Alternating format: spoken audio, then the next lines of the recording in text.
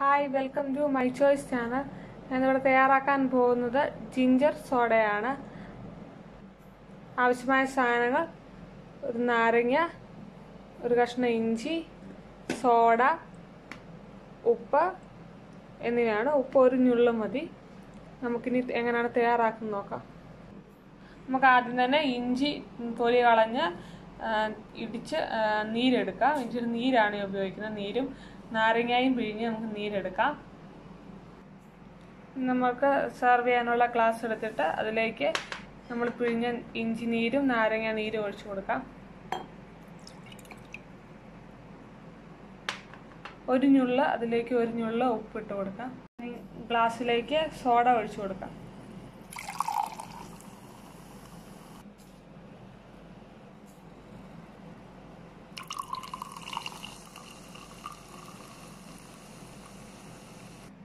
നമ്മുടെ ginger soda തയ്യാറായിട്ടുണ്ട്. നിങ്ങൾ തീർച്ചയായും ട്രൈ ചെയ്ത് നോക്കണം.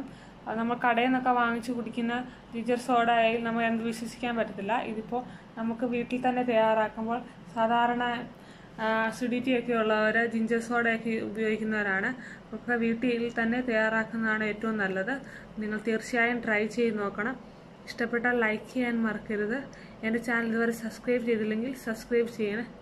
Okay thank